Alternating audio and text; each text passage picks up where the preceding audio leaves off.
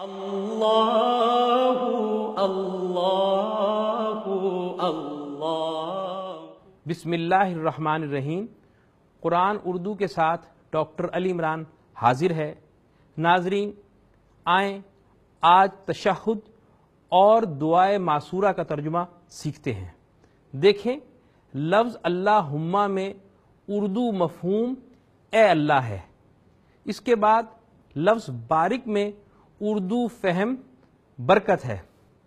پھر محمد ہے، یہ رسول اللہ صلی اللہ علیہ وسلم کا نام مبارک ہے۔ پھر وا کا ترجمہ ہوگا اور جیسے شعر و شاعری۔ اس کے بعد لفظ آل ہے یعنی آل اولاد۔ پھر حرف کما کا ترجمہ ہوگا جیسے۔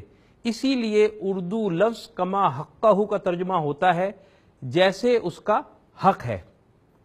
اس کے بعد لفظ ابراہیم ہے، یہ حضرت ابراہیم علیہ السلام کا نام ہے، اور انا کا میں حرف انا ہے یعنی بے شک۔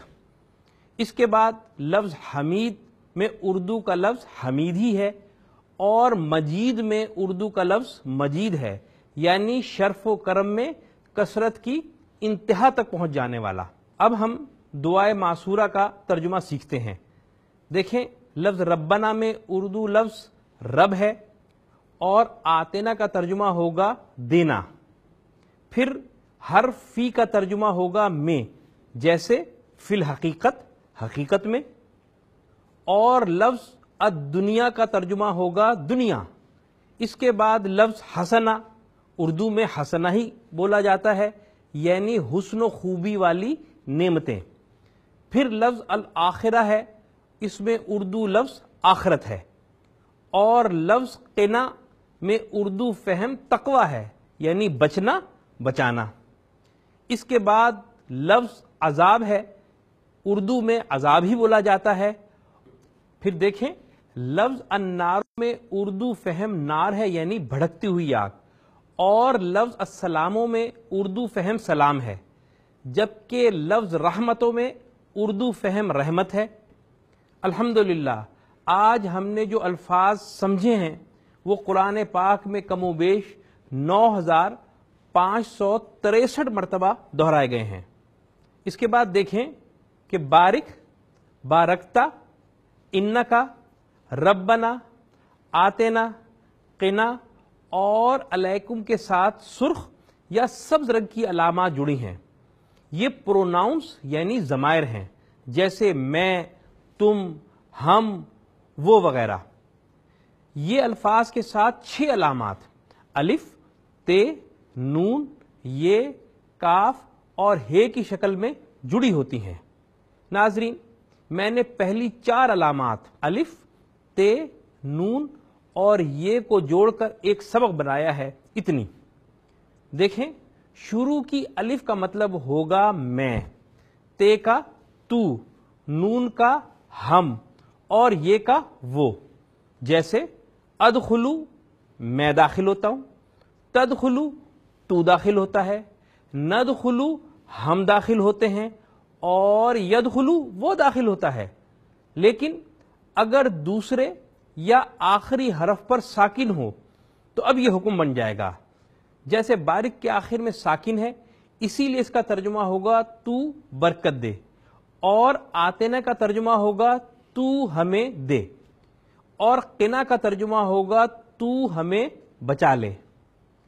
پھر ناظرین، اسی طرح لفظ کے آخر میں زبر یا الف ہو، تو اس کا ترجمہ ہوگا وہ، جیسے دخلا، وہ داخل ہوا، اور دخلو، وہ داخل ہوئے۔ پھر تیز برتا کا ترجمہ ہوتا ہے تو، جیسے دخلتا، تو داخل ہوا۔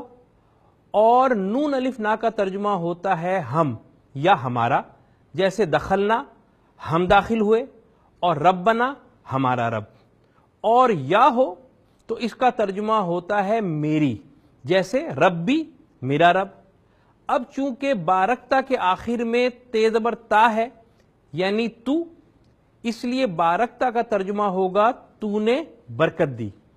پھر ربنا آتےنا اور قنا کے آخر میں نون الف نہ ہے یعنی ہمارے یا ہمیں۔ اس لیے ربنا کا ترجمہ ہوگا ہمارے رب، آتنا کا ترجمہ ہوگا تو ہمیں دے، اور قنا کا ترجمہ ہوگا تو ہمیں بچا لے۔ اس کے بعد یاد رکھیں کہ آخر میں آنے والی کاف کا ترجمہ ہوگا تیرا یا تمہارا، جیسے ربو کا تیرا رب ربو کم تمہارا رب۔ اب چونکہ ان کا اور علیکم کے آخر میں کاف اور کم ہے یعنی تو اور تمہارا، اس لیے ان کا ترجمہ ہوگا بے شک تو، اور علیکم کا ترجمہ ہوگا تم پر۔ پھر آخر میں آنے والی ہا کا ترجمہ ہوگا اس کا یا ان کا، جیسے رب ہو اس کا رب۔ رب ہا اس کا رب لیکن مونس کے لیے، اور رب ہم ان کا رب۔ ناظرین، آئیں، اب آج کے سبق کا مشترک مفہومی ترجمہ کرتے ہیں۔ اے اللہ، تو برکت دے محمد کو اور آل محمد کو۔ جیسے تو نے برکت دی ابراہیم کو اور آل ابراہیم کو۔ بے شک تو حمید و مجید ہے۔ اے ہمارے رب، تو ہمیں عطا فرما، دنیا میں حسنا اور آخرت میں بھی حسنا، اور تو ہمیں بچا لے عذاب النار سے۔ سلام ہو تم پر اور اللہ کی رحمت۔ اللهم بارك على محمد وعلى آل محمد كما باركت على إبراهيم وعلى آل إبراهيم. إنك حميد مجيد.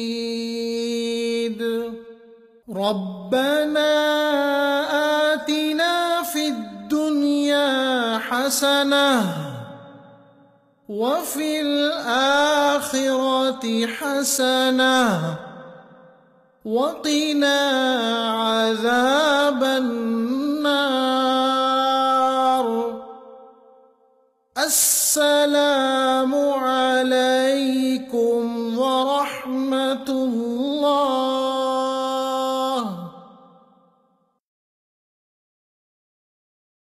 ڈاکٹر علی عمران کو اجازت دیں۔ اللہ حافظ۔